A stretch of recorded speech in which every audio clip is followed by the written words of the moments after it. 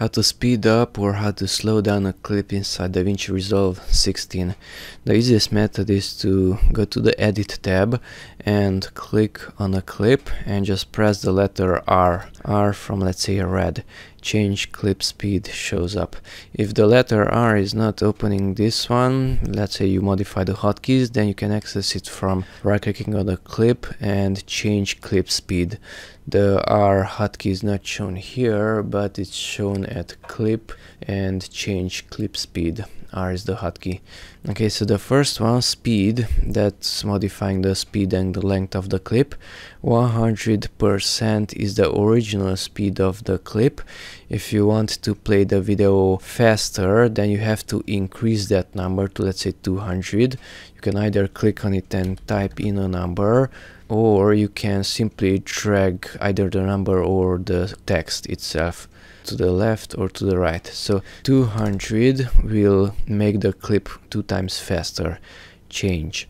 Okay, the problem is that it left a gap, so the clip itself is two times faster and thus two times shorter, but we don't want to leave a gap. To eliminate it, let's just undo it, Ctrl Z, press R again to go back, type in here 200 and this time check this ripple sequence and that will pull everything to the left.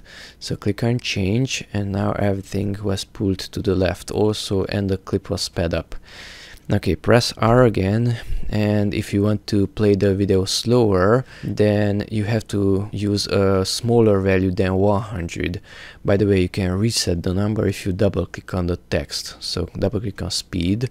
It turns back to 100 to the original speed. And to slow it down just decrease that number. Pull it to the left.